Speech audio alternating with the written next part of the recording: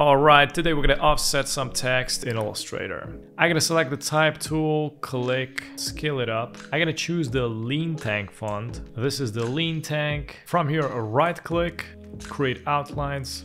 I'm gonna click on the fill, select the white color, click on the stroke, and I'm gonna go with black. And from here, go to object, path, and let's select offset path and I'm gonna offset it with 7 pixels. You can also adjust it however you like, but mainly it's gonna create a stroke around the letters. Click OK, and now it's selected the bigger pad that we created. I also gonna unite these, go to the Pathfinder, click on Unite. I'm gonna right click, go to Arrange Send to Back.